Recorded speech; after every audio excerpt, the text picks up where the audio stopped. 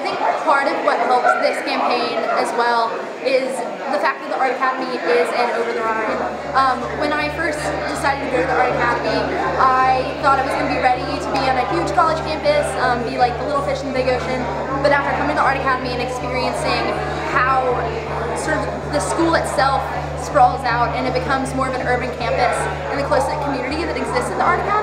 um, really provided me the support that I needed to move forward on this project um, and to really gain momentum. Um, I think that the Art Academy being here assisted a lot in me personally being able to connect with the community as well. I never thought that I would live in a downtown urban setting such as this, but coming here, I was so influenced by it and I fell in love with it, um, and it really pushed me as an artist and designer.